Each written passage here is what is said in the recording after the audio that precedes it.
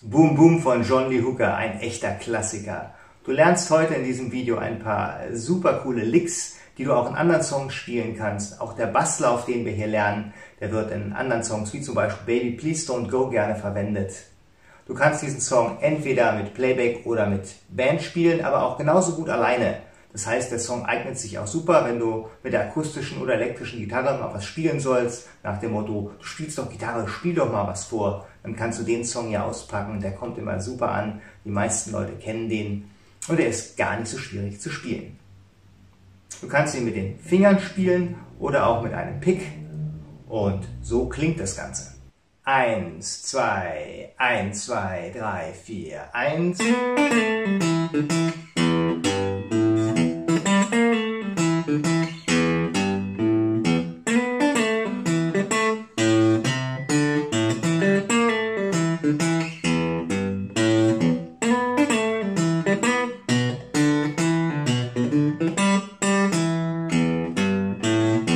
Song besteht nur aus einem Basslauf, den wir auf die drei verschiedenen Akkorde in einem E-Blues schieben, also auf E, auf A und auf B, auf Deutsch auch manchmal H genannt, und aus drei verschiedenen Licks.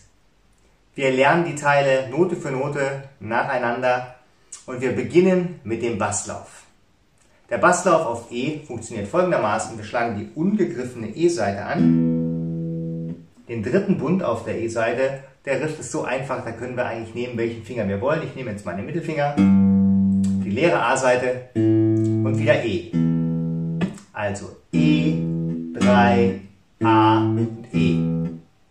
Worauf wir aufpassen müssen, ist beim Zählen oder wenn wir mit anderen spielen, dass es nicht auf der 1 anfängt, sondern immer auf der 2. Das heißt, wir haben immer 2, 3, 4, 1. Die ganzen Melodien Licks und auch der Basslauf, die enden immer auf der 1. Also 1, 2, 3, 4, 1, bleibt frei. 1, 2, 3, 4, 1, 2, 3, 4, 1, 2, 3, 4, 1, 2, 3, 4, 1.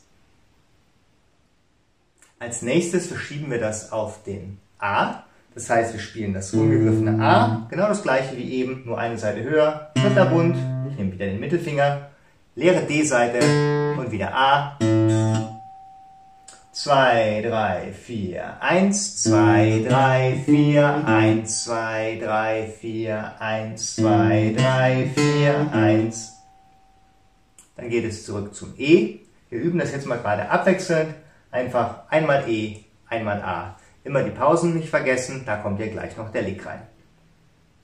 1, 2, 3, 4, 1, 2, 3, 4, 1, 2, 3, 4, A, 2, 3, 4, A, 2, 3, 4, E, 2, 3, 4, 2, 3, 4, A,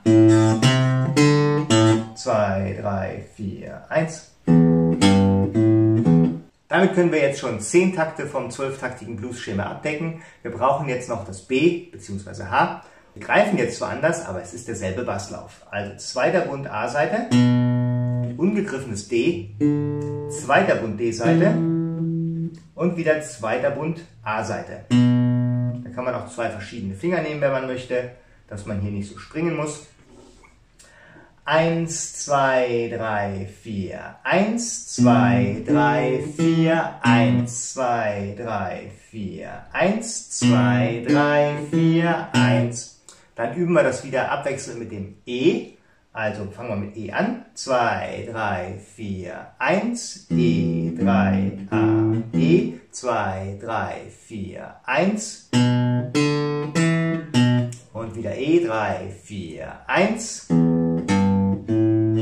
1 wieder B, 3, 4, 1, 2, 3, 4, 1. Und mit diesen drei Bassläufen, E, A und B, können wir jetzt das ganze zwölftaktige Blues-Schema spielen. Wir spielen ja immer einmal die Melodie, die ist ein Auftakt, du, di, du, di, du, di, dip, und dann kommt der Basslauf. Das ist zwei Takte lang. Das heißt, wenn wir einmal den Basslauf gespielt haben, plus den Takt Pause, haben wir ja schon zwei Takte vorbei. Dann spielen wir nochmal auf E, dann sind die vier Takte E vorbei. In der nächsten Zeile haben wir zweimal A. Erst die Melodie, dann der Bass auf A. Dann wieder zurück zum E, Melodie, Bass auf A, dann auf B, Melodie und Bass und dann wieder auf E, Melodie und Bass. Wir spielen jetzt nur den Basslauf und dann klingt das Ganze schon mal so. Ich zähle wieder ein, 1, 2, 3, 4. Nicht vergessen, wir fangen nicht auf der 1 an, sondern auf der 2.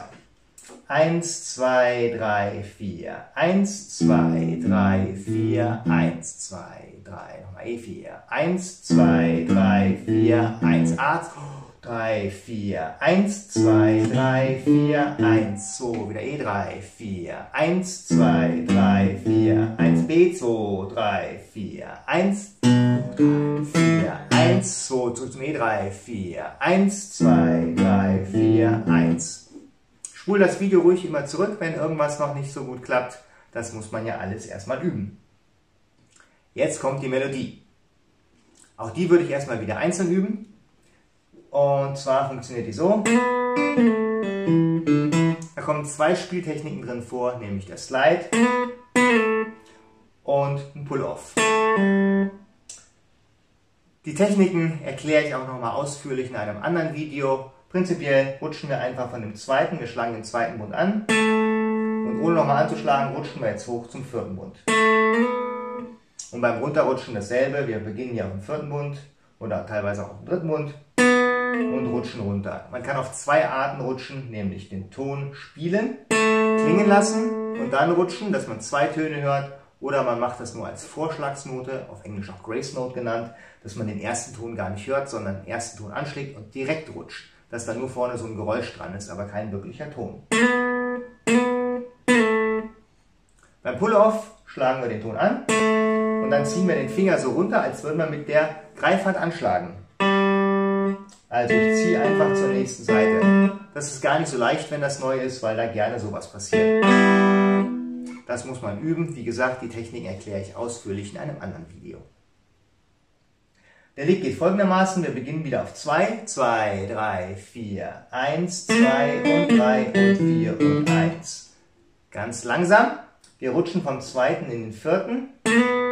Das ist so ein schneller Rutscher, also eine Vorschlagsnote. 1 und Mittelfinger, wir können die beiden ineinander klingen lassen. Oder auch einzeln, wie wir wollen. Und zurück ist wieder ein schneller Slide. Wir spielen also nicht den vierten, sondern wir spielen eigentlich als nächstes den zweiten. Wenn es gar nicht klappt, können wir die Slides auch weglassen. Vier auf der G-Seite, drei auf der B-Seite und dann Mittelfinger wieder zwei auf der G-Seite. Ich mache sie mit Slides. Leeres G, hier könnten wir auch einen Pull-Off spielen.